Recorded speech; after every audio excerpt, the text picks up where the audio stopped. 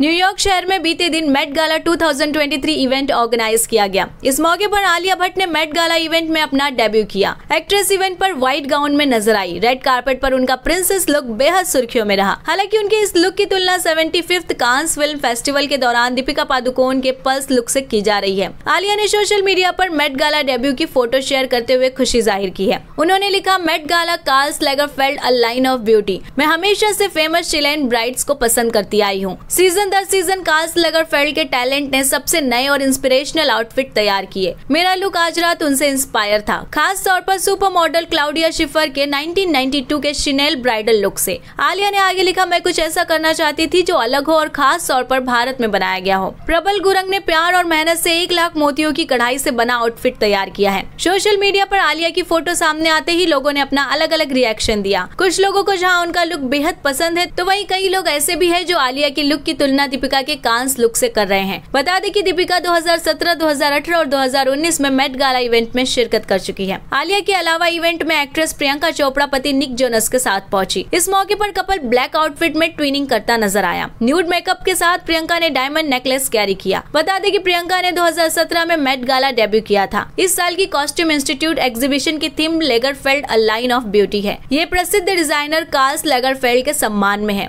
बता दें कि साल 2019 में कार्ल्स का देहांत हो गया था। इसी तरह की जानकारी के लिए सब्सक्राइब करें द न्यूज़ इंडीज